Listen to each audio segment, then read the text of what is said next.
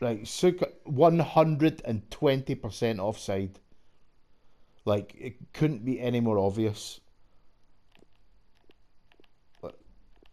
I'll put the video on YouTube, right? So, it ricochets off of Cruyff, I think.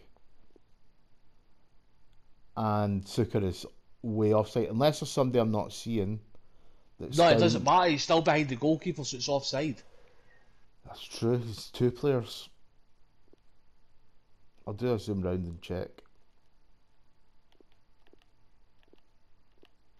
Right, so ball was played right about there. Even if that was a tackle, that's still offside because it was Cruyff that passed it. Uh, how do I get the different views again? Telly or it's orbit I want.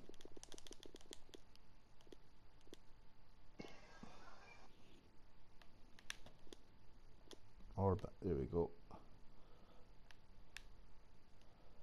There are three players offside when that ball deflects off of Cruyff. Fucking ridiculous. Including. Suker.